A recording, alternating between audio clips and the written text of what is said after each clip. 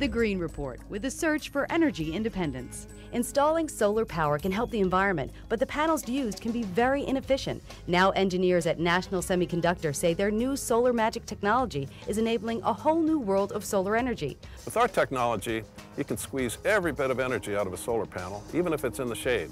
And this allows us to recover up to 50% of the energy that would have otherwise been lost.